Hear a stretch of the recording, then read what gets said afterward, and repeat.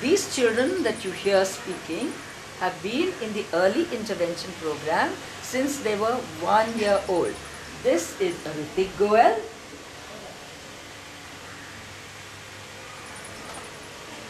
This is Prisha Goel. This is her audiogram. Hold it up. Right? They are profoundly deaf, but they are wearing, they have been on binaural amplification from a very young age.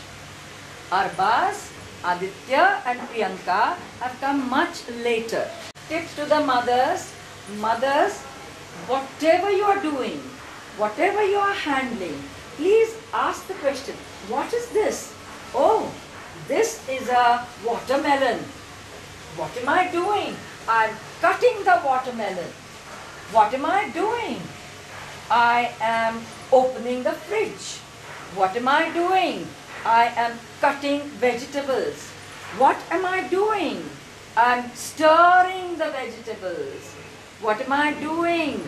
I'm wearing my sari. Ask the questions, doing what? And what is this? Constantly and answer the question yourself with the correct intonation. You will find the children will start asking questions. Also, they will start understanding when you ask them a question and slowly start answering them. Under the chair is a place. Where are you going? I am going to school. School is a place. Where is Papa? Papa is in the bathroom. Bathroom is a place.